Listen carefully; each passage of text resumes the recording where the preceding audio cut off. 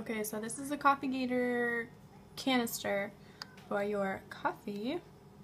So I just put it in there. So I'm going to set today's date. So I know when it's good.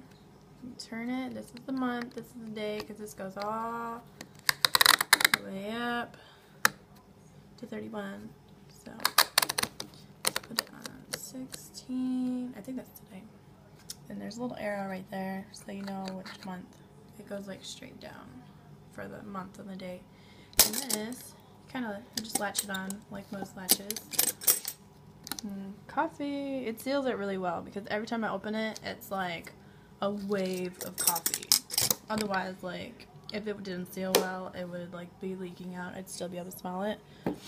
And uh, yeah, I just put this in here. My husband's not home. He doesn't know that I put it in this super cool um, coffee canister, so he's probably gonna call me in the morning wondering where the coffee is. But I mean, hopefully can read coffee.